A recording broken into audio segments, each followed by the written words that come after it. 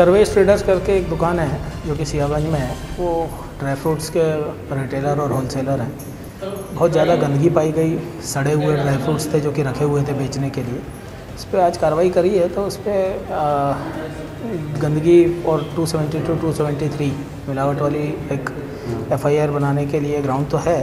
अभी पहले कार्रवाई पूरी हो जाए, उसके बाद देखते हैं कि ग्राउंड होगा तो उसमें एफआईआर करेंगे।